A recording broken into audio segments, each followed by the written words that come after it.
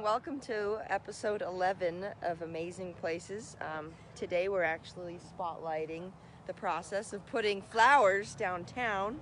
So Michaela's going to take us on a little tour of what's going on and we'll have some fun with it. So flip the camera. What's up? Okay, so we are at the DSA office right now. A group of us started at 6.30 this morning. So let's go check it out and see how we do flowers up on Main. So, first of all, we have our soil and our pots that we have our awesome volunteers helping put in the soil into the pots because how your plants grow. And then our other awesome volunteers, they hold the flowers. they they plant them. So we put five um, flower. What are they called? Like your flowers into a pot. So. What, what makes this kids? Oh, say.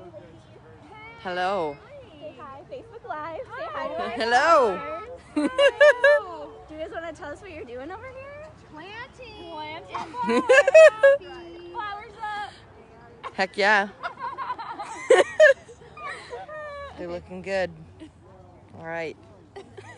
Moving on. Are you? More? Hi, Lana. Are you having fun? Uh-huh. Do you have anything to say to our awesome viewers on Facebook right now? How do you like planting flowers up? You look pretty good at it. You have a new career, don't you?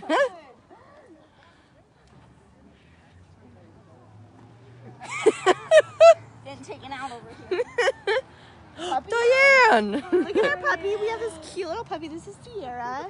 If you want to see Sierra, um, go see her at Carol's Furniture. She's kitty. We need to look good for the So after the flowers get planted into their pots, they get brought over here and put in the actual hanging basket. Say hi to Jim. Hi to Jim. Oh, let's go check them out. So then you get the hangers put on and we put them on this awesome trailer. And we will drive down Main Street and then we'll just hang them up on the, um, the light poles. Um, we'd like to give a special thank you to DeBolt Consulting and Paul Handel Gates for donating their trailer and to the clothing company because they also donated their trailer.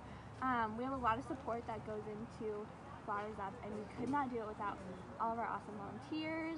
Um, we have people every single day that drive down Main Street at 6:30 in the morning to water the flowers every single day during the summer, and then once a week or more, they also fertilize the flowers, which is how they get to be so big and so beautiful.